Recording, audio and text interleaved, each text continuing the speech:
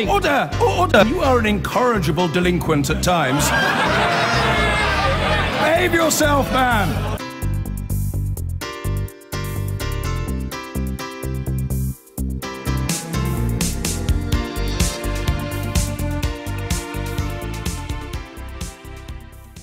Now, our guest of the day, Ed Balls, is obviously a twinkle toes on the dance floor, but he did have a career before Strictly Come Dancing. that all came to an ungraceful end in May last year when he lost his seat, of course. In his book, Speaking Out, he considers his and Labour's defeat and how the party might regain power. We'll be discussing that in a moment. But first, a reminder of Ed's glittering political career. Well, for years and years, they say that money has been the root of all evil to a lot of men. But if you ask me to have my pick, I'll take the money, you can have the chick. I'm gonna have myself a ball. Gonna have myself a ball. Gonna have myself a ball. Cause sure don't know when you got to go.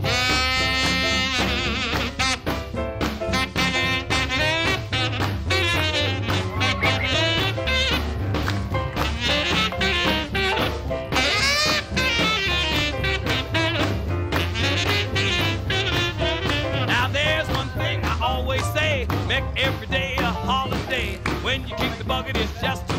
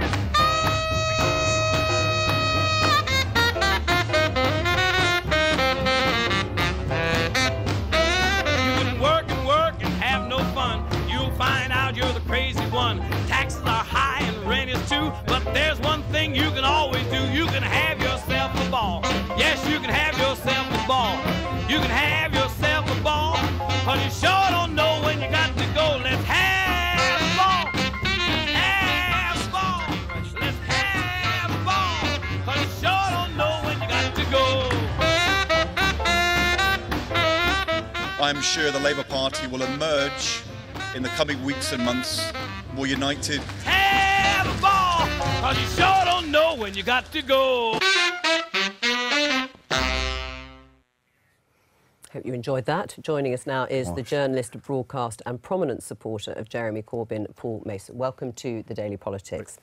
First of all, though, to you, Ed Balls, did Labour lose in 2015 because they weren't radical enough or because they weren't trusted enough on the economy? I think in the end, what happened was um, that people saw the, the opinion polls being very close. Uh, they were worried that the SNP was going to hold the balance of power. And there was lots of speculation about how Ed Miliband would be if the SNP were uh, were deciding the budget. And in the end, there were lots of voters in my constituency and around the country who may have voted Liberal Democrat in 2010, who thought about voting UKIP, who switched back to the Conservatives because they were fearful about a Labour government on the economy. The right. idea so they weren't they, trusted on the economy. Yes, but the idea that they were voting for the Conservatives because they wanted Labour to be more left wing is just just uh, nonsense. Right. Yes. Well, that's obviously for the birds, Paul Mason, that the idea Labour wasn't radical enough is why they didn't win. No, and I think uh, Ed's book is, is really interesting because for me it marks the beginning of the centre, what I call the centre left in, in, in, in Labour, beginning to draw an account of why it failed. Uh, and that, that last minute flip of Lib Dem voters or could, people solidifying around the Tories over Scotland is one thing. But you know yourself, Morley and Outwood, you know, formerly Normanton, long-term decline of Labour vote, split to the right with UKIP, split to the left, arguably, with the Greens, politics fragmented. Mm. And my argument would be that any Labour leader, whether it's Owen Smith uh, or whether it's Corbyn or some future person, has to have a narrative. And my observing it as a journalist then, covering it for, for ITN, it was the absence of a narrative. Uh, I think any narrative is better for Labour. Are you saying they didn't have any narrative at all? Well, they had a narrative, but the, the problem was it, it what Ed, was the narrative Ed, in your mind? Austerity Miliband, light. Ed Miliband thought you won, thought you win elections through policy.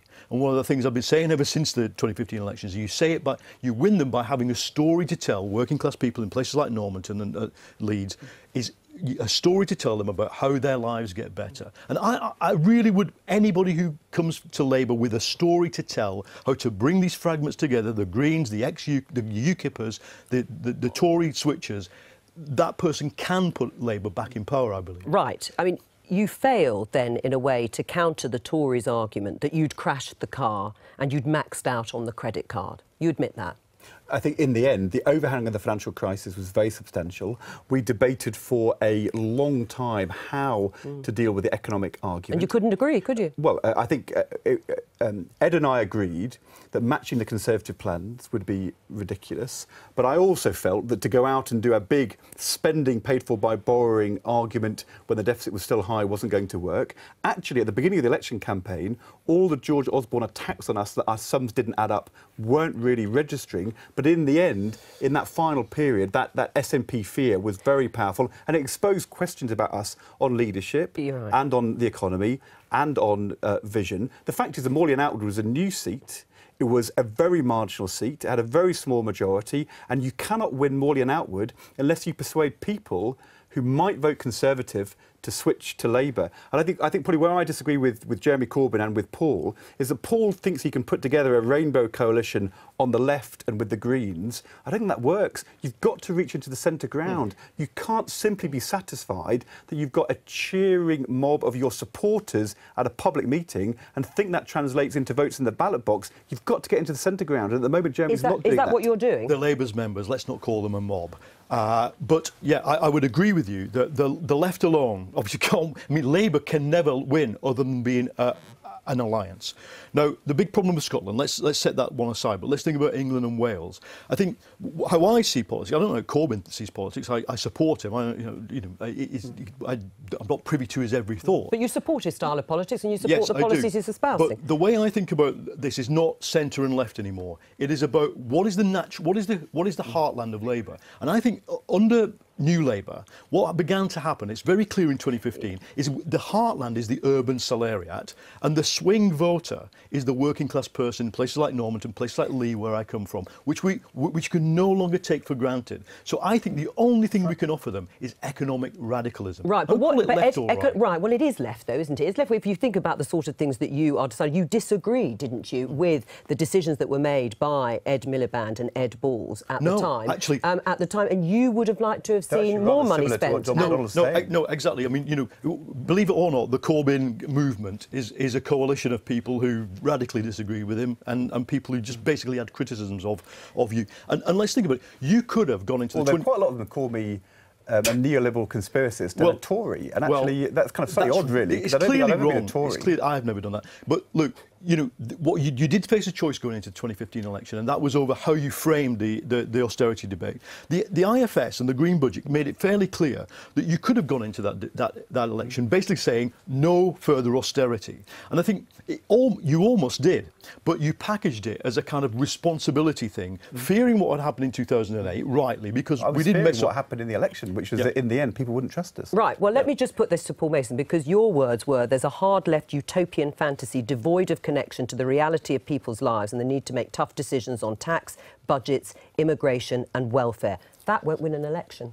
Well, what is amazing about being in the Labour Party at the moment, and I hope you agree with this, Ed, is that the influx of people we're having are exactly those ordinary people who we need to tell the story to. And what we're seeing is mums on estates becoming activists in the Labour movement, which is an amazing thing. We couldn't fill 50, a small hall with 50 young people in the 80s. Now we're seeing tens, hundreds. And but that, is what that still to going do, to be the wider electorate that can win an election? Well, they can be the ambassadors onto the doorstep for a message, which, I mean, your book is full of examples about how bombarding working class people with messages didn't work. But above all, they can be the listeners. Sure. I, want to, I want to hear what they want us to do. Right, but you just called them a mob. I mean, are they amazing or are they a mob? I was thinking of a large group. I, I, okay. I, I, don't mean mob in the sense of, you know, a political mob. So, I, you know, if mob's the wrong word, I apologise yeah. for that. Do you think Jeremy Corbyn can win um, the next general election? Uh, uh, Jeremy Corbyn won the leadership election. He's brought in new members.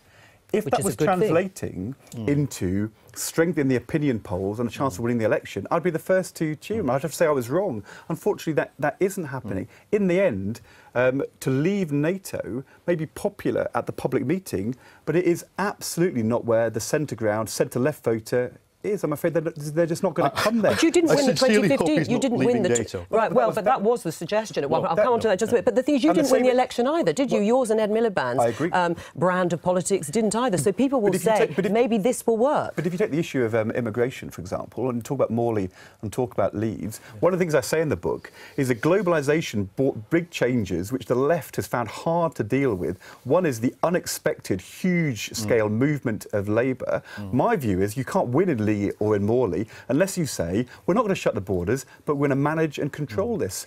Jeremy said the weekend before the, the referendum, we have to accept free movement. We can't have a cap. It's got to be basically unlimited. That isn't where the voters of Leigh or Morley I, are at I, all. I, I actually agree with that. Weirdly, you'll find. I mean, before you may, if you look at social media, I was supporting you in that debate. Before, before. Do you think were. Jeremy Corbyn is doing a good job in his role as leader? I mean, if we look at Prime Minister's questions He's had a slight local difficulty to um, deal with. Right? Yes, indeed. Whose fault's that? Well, uh, Owen Smith stood. Uh, people stood down. I mean, look, it's their right to do that. Yeah. But what they have to what they have to bear in mind is that maybe not the whole of the tanking in the polls. The tanking in the polls is real. It wasn't happening at the beginning on the 23rd of June. It is now happening. Right. Some of that has to be down to the disunity. Some of it clearly has to be down to Corbyn. He Yeah. is the leader. Mm. But what I would say is, look, politics is sequential. There will be a vote. I understand that you know the polls are saying oh, Corbyn is outpolling Smith in his in mm. Smith's constituency at Right. the moment. No, it is it is likely Among- to amongst win members. As, yeah, as long as as long as it's a democratic vote.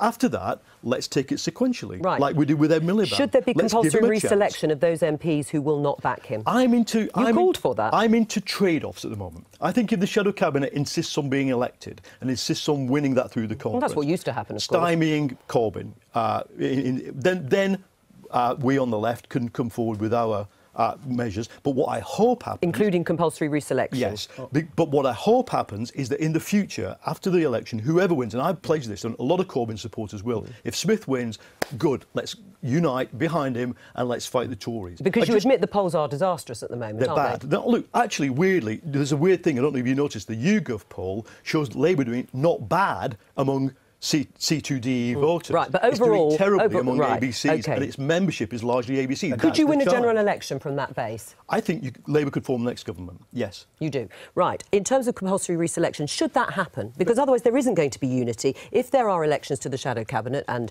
you know, the moderates, let's just call them that uh, for ease of semantics, are uh, elected or they top the polls to the shadow cabinet and the first thing they say is, I'm afraid I don't have confidence in, in the leader, Jeremy Corbyn, assuming he wins. Every MP goes through a reselection process in their constituency anyway. I went through it twice when I was an MP. If the party wants to get rid of an MP and have a new candidate, they can already do that under the rules. But in the end, you have to ask the, uh, this question Is the MP there simply to be the representative of the members, or do they have a responsibility to win? Voters across the whole constituency. Of course, the members are also voters, but they're a small minority of the voters in the constituency. The thing which worries me is I fear that Labour at the moment is becoming a party around Jeremy Corbyn, which thinks strengthening its base in opposition is sufficient. Hmm. And I don't think hmm. that in the end is, is good enough. We need an opposition which wants to be in government. And the reason why many of the MPs are so worried is because they don't think at the moment that's even what Jeremy's trying to achieve. And Paul's going to have to persuade us Jeremy actually wants to be Prime Minister before he's going to have a chance of winning a general election. I'm just not sure he really wants it, or even that's the project's aim at the moment. All right, let's leave it there.